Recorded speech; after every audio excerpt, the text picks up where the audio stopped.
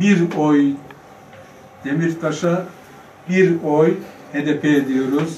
Hepimize kolay gelsin diyorum. Ee, hem gerginlik yaratmamak adına hem kimseyi tehlike altında tutmamak adına e, alanlarda bir şey yapmıyoruz.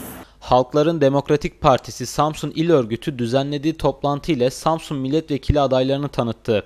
Biz varız, bu memleket biziz demek için Samsun'dan adaylığımı koydum. Hepimize kolay gelsin.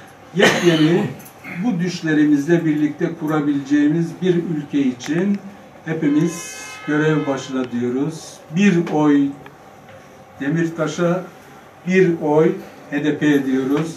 HDP Samsun 1. sıra milletvekili adayı Medihe Oya Yağcı, Samsun'da seçim çalışmalarını gerginlik yaşanmamasına dikkat edecek şekilde yürüteceklerini söyledi. Yok saydıkları, bizi görmek istemedikleri, hatta yok etmek istedikleri her yerde biz varız ve asıl sahibi bizleriz. Kimiz biz? Yaşlılarız, engellileriz, LGBTİ'lileriz, kadınız, erkeğiz, üreteniz, emekliyiz. Doğayız, hayvanız. Biz varız, bu memleket biziz demek için Samsun'dan adaylığımı koydum.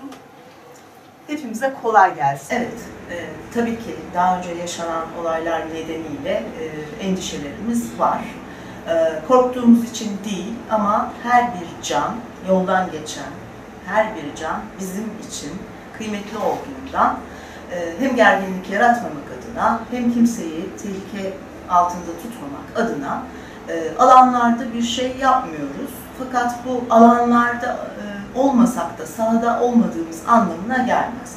Alanda değilsek de sahadayız, çalışmalarımızı yürütüyoruz. Cesaretimiz, güvenimiz tam bir biçimde seçim çalışmalarımızı sürdürüyoruz.